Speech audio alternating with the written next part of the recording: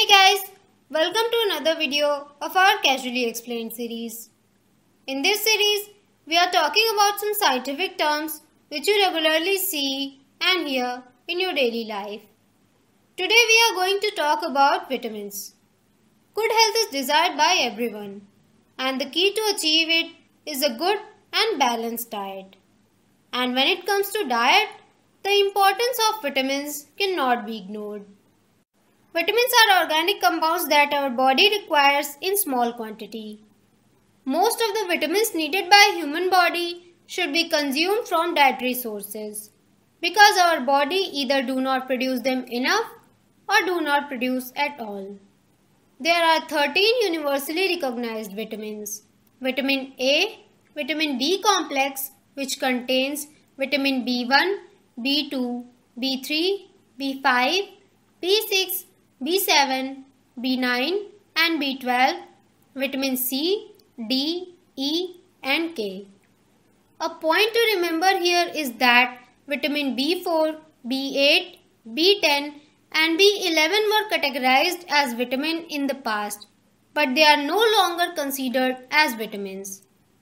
All of these 13 universally recognized vitamins are categorized into two types based on their solubility fat soluble and water soluble.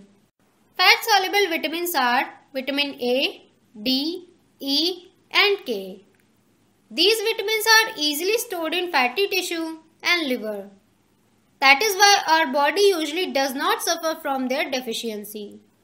And if their deficiency occurs, it takes some time for body to return at balance.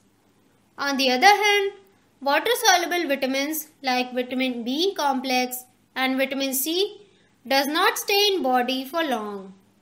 Because of their water solubility, they are easily excreted via urine. That is why regular consumption of vitamin B and C is necessary for the body. So why do these vitamins are important for our body? The vitamins play a wide range of role in our body. Some act as enzyme cofactors and help different enzymes to do their work properly. Vitamin B complex is a good example of this. Vitamin A regulates cell and tissue growth. Vitamin K plays an important role in blood coagulation and prevents cardiovascular diseases. Some vitamins like vitamin E and C act as antioxidants. The antioxidants are essential for protection and proper functioning of our body as we have discussed in one of our previous videos.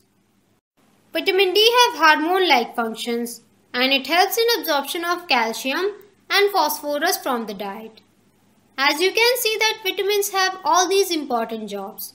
So it is necessary to take them regularly. And if you don't take them in proper amounts, you may suffer from various diseases like beriberi, night blindness, keratomalacia, scurvy, etc. The natural sources of vitamins are best for consumption because they also provide micronutrients as well as antioxidants. But you can take vitamins tablet too if necessary. Just remember one thing.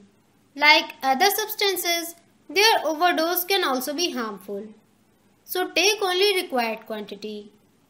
Do you know what disease is caused by deficiency of vitamin E?